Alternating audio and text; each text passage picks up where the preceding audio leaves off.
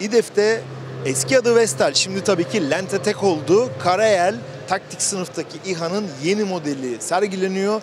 Çok farklı özellikler var. Şimdi beraber Karayel'in İDEF için hazırlanmış özel yeni modeliyle sizlerden alacağız ama önce sizi bir tanıyalım. Ben Ümit Ergin, e, Lentetek firmasında iş geliştirmeden sorumluyum. E, İDEF fuarına gene her zaman olduğu gibi Karayel ürünümüzü getirdik ancak bu sefer çok daha kabiliyetli olarak getirdik. Ek özelliklerimiz var. İsterseniz onlarla başlayalım. Şöyle altında ben SAR radarını görüyorum burada. SAR radarı yeni mi entegre ettiniz SAR radarını? E, SAR radarını yeni entegre ettik. Hala da entegre faaliyetleri devam ediyor. E, gördüğünüz gibi aslında Male sınıf bir uçağın kabiliyetlerine sahibiz. Taktik sınıf olarak geçiyor ağırlık olarak ama hem kamerayı hem SAR radarını birlikte kullanacağız. Ee, SAR radarı dediğimiz zaman izleyicilerimize SAR ne avantaj sağlıyor onu da bir söyleyelim ki hani SAR aşağı, SAR yukarı sentetik açıklık radarı ama e, bir sizden ne taktik olarak ne artı değer katıyor onu bir alabilir miyiz? Tabii ki. Ee, bildiğiniz gibi aslında İHA'ların en önemli amacı e, kamerayı taşımak. Fakat kamera zorlu hava koşullarında, bulutlu havalarda, siste, dumanda, yangında bazen yetersiz kalıyor.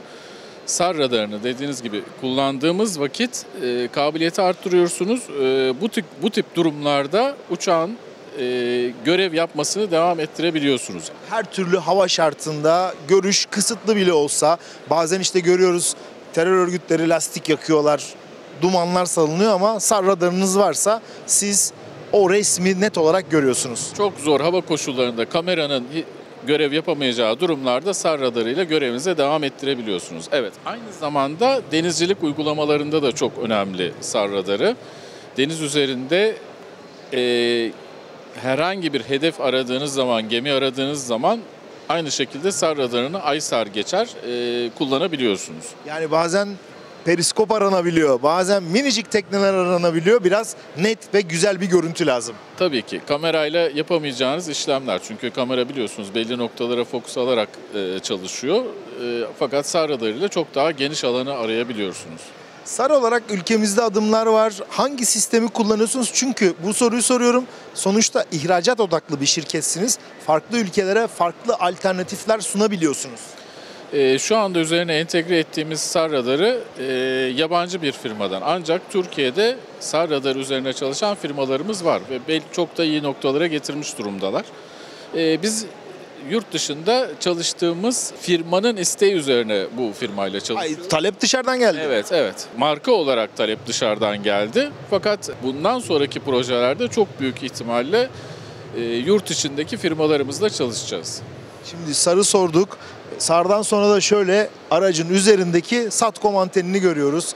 Ee, normalde tabii ki taktik sınıf, çoğu taktik sınıf herhangi bir SATCOM anteni yoksa yerdeki sinyal e, sağlayan sistemlere bağlısınız. Menziliniz kısalıyor. Hoş Türkiye bu konuyla ilgili epey bir sınırlarını aştı, uzattı ama eğer bağımsız çok uzaklara operasyon yapacaksanız SATCOM lazım değil mi? Evet, kesinlikle özellikle bu zamanlarda Satcom'suz e, bu kabiliyette bir sistem e, bir ayağı kesik gibi oluyor. E, Satcom'u e, uzun bir süre oldu aslında entegre edeli. 3 senedir falan uğraşıyorduk. Satcom olarak artık operasyon yapabiliyor.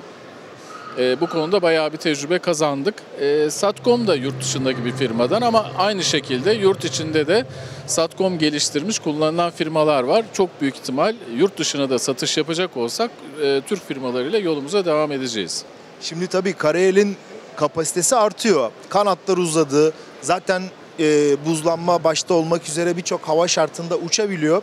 Bir de Karayel'in diğer gelişen özellikler hakkında biraz bilgi alalım sizden. Evet, e, aslında bakarsanız SAR radarı, SATCOM, e, daha gelişmiş kamera, e, buz giderme sistemi bunları aldığınız zaman biz eksi 40 ile artı 60 derece arasında operasyon yapabilen bir sisteme sahibiz. Bildiğiniz gibi her türlü silah sistemine entegre edebiliyoruz.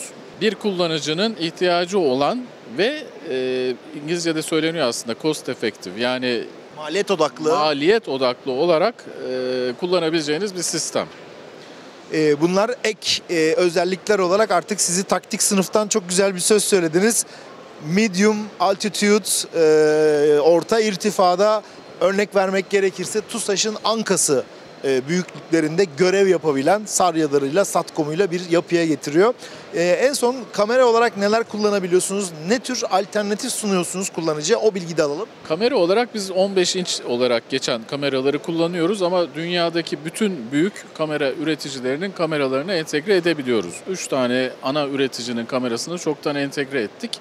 Ama bütün e, tasarım %100 bizim olduğu için e, üzerinde oynayan yazılımlar da tamamen bizim olduğu için her türlü kameraya entegre etme kabiliyetine sahibiz. Ürün, talep nereden geliyorsa siz buraya doğru gerekli yazılım hakları, tasarım sizde olunca bunları yapabilmek çok daha kolay. Aynen. Aynen öyle. Ben e, söylemiştim tekrar söylüyorum. Bu ekonominin de çok zor olduğu bütün dünyada günlerde en önemli şey maliyet yetkin sistemler kullanılması. Bizim sistemimiz hem kabiliyetli hem maliyet yetkin. Şimdi tabii e, Karayel'in gerçekten Türkiye'deki havacılık İHA tarihinde çok önemli bir yere sahip. Çok ciddi döneminin en büyük ihracatıydı değil mi? Yapılan anlaşma Suudi Arabistan'la beraber. E, şu an nasıl gidiyor? Suudi Arabistan'daki çalışmalarınızın devam ettiğini biliyoruz. E, genel olarak talepler ne yönde? Biraz böyle muhtemel tabii ülke ismi vereceğinizi zannetmiyorum. Çünkü bu tür anlaşmalar karşı taraf izin verirse açıklanıyor. Ee, gerçekten Türkiye'deki tüm savunma sanayi şirketlerimiz için de geçerli. Bot da satsa, koca bir uçak da satsa izin yoksa söylenmiyor. Suudi Arabistan'da ben ilk sizden duydum diyerek başlayıp sosyal medyada tabii kaçınılmaz olarak bu tip bilgiler e, dolaşıyor ama herhangi bir ülkeyle yaptığınız zaman bunlar ülkenin dışarıya e, sizin tarafından verilmesini istemediğiniz bilgilerdir. Ama dünyanın ben size söyleyebilirim 6 kıtada da her yerde e, bu sistemimizi e, pazarlamak için e, faaliyetlerimiz devam ediyor. Gelen talepleri değerlendiriyorsunuz, demolar yapıyorsunuz, ihalelere katılıyorsunuz. Ee, Karayel konusunda başarılar diliyoruz. Uzun yıllardır kendini ispat etmiş bir platform. Verdiğiniz bilgiler için de çok çok teşekkür ederim. Sağ olun. Biz teşekkür ederiz.